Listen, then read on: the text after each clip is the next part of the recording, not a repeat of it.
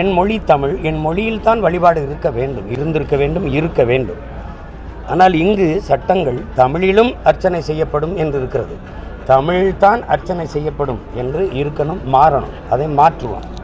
மாற்றணுங்கிறது தான் எங்களுடைய போராட்டத்தின் தொடக்கம். இங்கே இப்போ அனைத்து சாதியும் அர்ச்சகராகலாம் என்று சட்டம் வருது. ஆனால் அதை முழுமையாக நிறைவேற்றி செயல்படுத்த முடியலைங்கிற யதார்த்தம் இருக்குது நீங்கள் எல்லாம் அறிவிங்க. ஆகம விதி ஆகமப்படி அந்த கோயில்களில் வழிபாடணும் ஆகமம் என்பதே ஆகம விதி என்பதே ஆரிய சதிதான். ஆகமம் என்பது இறை பணுவல். அதுதான் எங்கள் தூய தமிழில் இறை பணுவல். எங்களுக்கு இல்லாத மந்திரம் எங்களுக்கு இல்லாத இறை வழிபாட்டு நெறி வேறு எந்த மொழியில் இருக்கிறது? நாங்கள் கேட்குறது என்னென்னா அனைத்து சாதியும் அர்ச்சகராகலாம் ஆகலாம். ஆனால் எந்த மொழியில் அர்ச்சனை? அதுதான் முதன்மையானது. இங்கே எல்லா சாதியும் அர்ச்சகராக அப்படின்னா கர்நாடகாவில் இருந்து கேரளாவிலிருந்து ஆந்திராவிலிருந்து பீகாரில் இருந்து மத்திய பிரதேசத்திலிருந்து உத்தரப்பிரதேசத்திலிருந்து பல பேர் இங்கே வந்து வாழ்கிறார்கள். அவர்கள் அவர்களுடைய குடி அடையா அடையாளத்தோடு வாழ்கிறார்கள். சாதி அடையாளத்தோடு வாழ்கிறார்கள். அப்போ அனைத்து சாதியும் அர்ச்சகராகலாம் என்றால் இப்போ நான் ஒரு சான்றுக்கு சொல்கிறேன் நான் யாதவ் இங்கே யாதவ் என்று தான் குறிக்கப்படுறேன். ஆயர் என்றோ கோன் என்றோ என்னை குறிக்கிறது இல்லை. அப்போ நான் யாதவ் என்றால் பீகார்லேருந்து வந்த யாதவும் இங்கே இருக்கலாம். உத்தரப்பிரதேசத்தில் வந்த யாதவும் இங்கே வருவார். அந்த சாதியும் அர்ச்சகராகணும்னா என் இறைக்கு முன்பு எந்த மொழியில் வழிபாடு நடக்கும்? இதுதான் கேள்வி. இப்போ அனை அறநிலைத்துறையினுடைய அமைச்சராக ஐயா சேகர் பாபு இருக்கிறாங்க. அனைத்து சாதியும் அர்ச்சகராகலாம் என்றால் ஐயா சேகர் பாபும் அர்ச்சகராகலாம் என்றால் அவர் எந்த மொழியில் இறை வழிபாட்டை செய்வார்? இதுதான் எங்கள் கேள்வி. அப்போ எல்லாவற்றுக்கும் மேலாக முதன்மையாக இருக்கிற சிக்கல் அன்னை தமிழ் மொழியில் அர்ச்சனை வழிபாடு. அதான் எங்களுக்கு. நீ எந்த சாதி எவனாக இரு என் இறைக்கு முன்பு என் மொழியில் வழிபாடு. இதுதான். அதான் எங்களுடைய கோரிக்கை கோட்பாடு. கோரிக்கை என்று சொல்ல நான் தயாரல்ல. என் உரிமை இது. என் உரிமை. அப்போ என் வழிபாட்டிலிருந்து என் மொழியை காக்கணுங்கிறது. நிறைமொழி மாந்தர ஆணையில் கிளந்த மறைமொழி தானே மந்திரம் என்பதுன்னு தொல்காப்பியம் பாடுது. இதுதான் மந்திரம். இப்போ நாங்கள் பாடினதை எங்களை தாண்டி இங்கே ஒன்றும் மந்திரம் இல்லை. உங்ககிட்ட ஒன்றை கேட்க விரும்புகிறேன் அமித்ஷா அவர்கள் சொல்கிறாங்க தாய்மொழியை கைவிட்டுறாதீங்கன்னு விடக்கூடாதுன்னு அவன் தாய்மொழி தமிழ்மொழி பிள்ளைகள் நிற்கிறான் ஐயா மோடி அவர்கள் சொல்கிறாங்க இந்த நாட்டின் முதன்மை அமைச்சர் உலக மொழிகளில் தொன்மையான மொழி தமிழ் அது இந்தியாவில் இருக்கிறது எங்களுக்கு பெருமை. இந்திய மொழிகளின் தொன்மையை தமிழில் இருந்து அறியலாம்ங்கிறாங்க. அந்த தொன்மையான மொழிக்கு நீங்கள் தந்திருக்க முன்னுரிமை என்ன?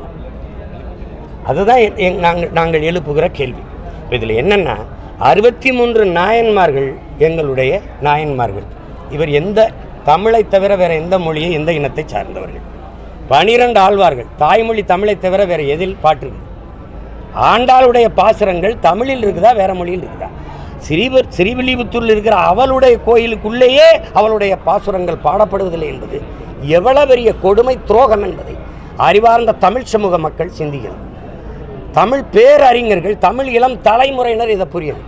உன் தாய்க்கும் உன் தாயை நீ அம்மாவென்று அழைக்காது உன் தாய்மொழியில் அழைக்காது.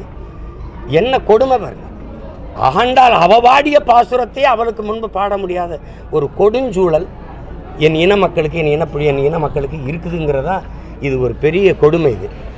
பனிரெண்டு ஆழ்வார் பதினெட்டு சித்தர்கள். இங்கே சைவ குறவர்கள் உண்டே ஒழிய வேறு எதுவும் கிடையாது. இந்து குறவர் அந்த குறவர்லாம் இங்கே கிடையாது. எங்கள் மடம் சைவ மடம்.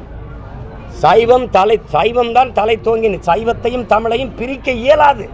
எங்களுடைய மூதாதைகள் அருண்மொழி சோழனும் அரசேந்திர சோழனும் சைவ மொ சைவ மதத்தின் பற்றாளர்கள் சிவ நெறியாளர்கள். எங்கள் இறை தமிழ் கடவுள் தமிழ் இறை முருகனுக்கு முன்பு திருமுருகாற்று படைப்பாடலை அருணகிரிநாதர் எல்லாரும் நிராகரிச்சிட்டிங்கன்னு இப்போ அவன் பேரப்பிள்ளைகள் நாங்கள் கிளர்ந்தெழுவது போல கிளர்ந்தெழுந்த புரட்சியாளன் தான் அருணகிரிநாதர். அவர் வந்து வம்படியாக திருப்பொருளை திருப்புகழை எங்கள் முருகனுக்கு பாடுறாரு. அந்த திருப்புகழை என் முருகனுக்கு முன்பு பாடுவதில் என்ன பிரச்சனை? ஒரு பிரச்சனை இல்லை. இன்னைக்கு எங்கள் ஓதுவார்கள் எங்கள் அம்மா என் தம்பிகள் எல்லாரும் எங்கள் ஐயால வந்த பிறகு நாங்கள் திருப்புகழ் தேவாரம் திருவாசகம் பாடும்போது இருக்கிற குருமார்கள் குருக்கள் எல்லாம் தூய தமிழில் வழிபாடு செய்தார்கள் அர்ச்சனை செய்தார்கள். கந்தா போற்றி வள்ளியின் நாயகனை போற்றி கடம்பா போற்றி அப்படி நாங்கள் போற்றி போற்றி நாங்களும் சொன்னோம். கந்தனுக்கு அரோ கந்தனுக்குன்ற அரோகரா வெற்றிவேல் முருகனுக்கு அரோகரா நாங்கள் முழங்கினோம். அப்போ முடியும் என்கிற போது ஏன் செய்யலைங்கிறதான் பிரச்சனை. இங்கே சமஸ்கிருதத்தில் வழிபாடு நடத்தணும் சமஸ்கிருதம் தேவபாசை இதெல்லாம் பேசக்கூடாது. எல்லா மொழிவழி மாநிலங்களும் இந்தியாவில் பிரிக்கப்பட்டிருக்கு. அவர் தெலுங்கர் அவருக்கு மாநிலம் அவர் கன்னடர் அவருக்கு மாநிலம் அவர் கன்னடர் அவர் மலையாளி அவருக்கு மாநிலம் அவர் பீகாரி அவருக்கு மாநிலம் அவர் குஜராத்தி அவருக்கு மாநிலம் அவன் மராட்டியன் அவனுக்கு மகாராஷ்டிரா அவன் எல்லாருக்கும் மாநிலம் இருக்குது நான் தமிழன் எனக்கு ஒரு தாயகம் இருக்குது. எனக்கு ஒரு மாநிலம் இருக்குது. சமஸ்கிருதத்துக்கு எங்கே மாநிலம் இருக்குது? மாநிலத்தை விட மாவட்டம் எங்கே இருக்குது? சும்மா அதுதான் மொழி அதில் தான் வழிபடணும். அதெல்லாம் யாரும் வழிபாடு செய். என் தாய்மொழியில் வழிபாடு. இதுதான் எங்கள் முதன்மையான இந்த இந்த இந்த இந்த இதனுடைய இந்த செயல்பாட்டினுடைய முதன்மையான நோக்கம். அது எங்கள் நான் வந்து கோரிக்கை வச்சு மண்டியிட வேண்டலாம் தயாராக இல்லை. இது என் உரிமை. இதை அடையும் வரை நாங்கள் தொடர்ச்சியாக போராடுவோம். இதுதான் நாங்கள் செய்கிறது இப்போ இதில் சமஸ்கிருதம் தான் எல்லா மொழிக்கும் மூத்தது. அதெல்லாம் பேசிட்டு இருக்கக்கூடாது உலக பேரறிஞருக்கு மொழியில் ஆய்வறிஞனே சொல்கிறான் மனிதன் பேசிய முதல் மொழி தமிழ்னு. அமெரிக்காவின் மொழியில் ஆய்வறிஞர் அலைஸ் குரியலே சொல்கிறார் மொழி தோன்றி ரெண்டு லட்சம் ஆண்டுகள் ஆகுதுங்கிறாங்க.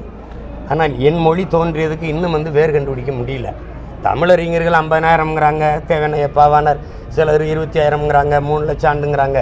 எப்படியே இருக்கட்டும். பிற மொழியின் துணையின்றி பிறமொழி சொற்களின் கலப்பின்றி தனித்து இயங்கக்கூடிய பேராற்றல் கொண்ட உலகம் மொழி உயர் தனிச்ச மொழி எங்கள் மொழி தமிழ் மொழி. நாங்கள் அவரவர் அவரவர் தாய்மொழியில் பேசிக் கொண்டிருக்கிறார்கள் நாங்கள் அந்த மொழிகளின் தாய்மொழியில் பேசிக் கொண்டிருக்கிறோம் அவ்வளவு பெருமைக்குரிய மொழி இனத்தின் பிள்ளைகள் நாங்கள். அதனால் இது என் உரிமை. இது என் உரிமை. நான் என் இறக்கிட்ட தான் பேசணும்னு நினைக்கிறேன். நீங்கள் வந்து உடனே நீ பள்ளிவாசல் போய் கேட்பியா நீ தேவாலயத்தில் போய் கேட்பியா கேட்பேன் நான் கேட்குறது கேளுங்க. அது என் சமயமா அது ஐரோப்பிய மதம் ஒன்றும் அரேபிய மதம். இது என் சமயம் சைவ சமயம் என் என் இறை இவன் அப்போ என் இறைக்கு என் இறைக்கு முன்னாடி தானே பண்ணணும் அப்படியே பார்த்தாலும் இன்றைக்கி இருக்கிற தேவாலயங்களில் சர்ச்சுகளில் தூய தமிழில் வழிபாடு நடக்குது. பரலோகத்திற்கு எங்கள் பிதாவே கூட கிடையாது. விண்ணுலகில் இருக்கும் என் தந்தைங்கிறான் பிதாசுதன் பரிசுத்தாவி கூட கிடையாது. தந்தை மகன் தூவை ஆவிங்கிறான். அப்போ என் தா என் இறைக்கு முன்னாடி என் கோயிலில் ஏன் என் மொழியில் வழிபாடு இல்லை? பாங்கொலியை தவிர மீதி எல்லாமே தமிழில் தான் பள்ளிவாசலில் சொல்லப்படுது. திருமண நிகழ்வுகளை நானே முன்னின்று நடத்திய திருமணங்கள் எத்தனை இருக்குது. நான் கையெழுத்திட்டு சான்று கையெழுத்திட்ட திருமணங்கள் எத்தனை இருக்குது. என் உறவினர்கள் திருமணம். அதில் அவர்கள் தமிழில் தான் இந்த இன்னார் மகன் இன்னார் இன்னார் மகள் இன்னாரை நான் உளப்பூர்வமாக விரும்புகிறேன் அப்படின்னு இருக்குது. போய் வேணா பாருங்கள் அப்படி எல்லா மொழிகளும் மனிதனால் பேசப்பட்டிருக்கு உலகில். தமிழ் மட்டும்தான் இறைவனால் பேசப்பட்டிருக்கு. உங்குதேர் வாழ்க்கை அஞ்சிரை தும்பி காமம் செப்பாது என்று செயலை எழுதி இறையனார்னு கையெழுத்திருக்கு. வேணா படிங்க. தமிழே எங்களுக்கு இறையாக வந்திருக்கு. இறையனாரும் எம்பெருமான் முருகவேலும் அகத்தியரும் கட்டி காத்த தமிழ் சமூகத்தின் இருக்குது. அப்போ தமிழ் சங்கத்தின் தலைமக்களாக இருந்த என்னுடைய இறைக்கு முன்னாடி என் தாய்மொழியில் வழிபாடு செய்ய முடியாது என்பது வரலாற்றில் எவ்வளவு பெரிய கொடுமை துரோகம். அதனால் அதை மாற்றி அமைக்க போராடுவோம். இல்லை அதிகாரத்தை கைப்பற்றி மாற்றுவோம். அதை என் இறை முருகப்பெருமானின் மீது ஆணையிட்டு இந்த நாளில் நான் உறுதியேற்கிறேன்.